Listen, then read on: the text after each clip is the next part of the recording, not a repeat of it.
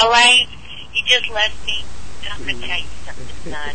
Things are fixing to change. I'm sick and tired of your attitude with me. I need to take a poo poo. That you can't even talk to me. And yes, things are my business because it involves you. And you need to wake up, buddy.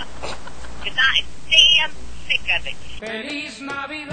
You think you're grown and you don't have to talk to me or anything about stuff that concerns you? Then you can get your shit and you can uh, get a job and move out on your own. You think you're so grown. And I'll quit paying all the goddamn bills. I wanna wish you a Merry Christmas. You can pay your own cell phone bill. You can buy your own goddamn tennis shoes. You can buy your own freaking skateboard.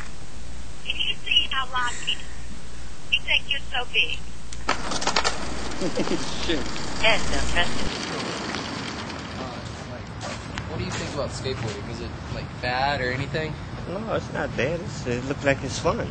It's a lot of fun. I know it's a lot of fun. I used to do it when I was growing up. You serious? Yeah. But when I was growing up, it wasn't none of these tricks and all. Oh. It just was riding. Oh, just riding around, you know, like going like that. Place to place on a straight line. It wasn't all of this Jumping jumping, downstairs. jumping downstairs and jumping off buildings and stuff. When I was coming. Jumping up.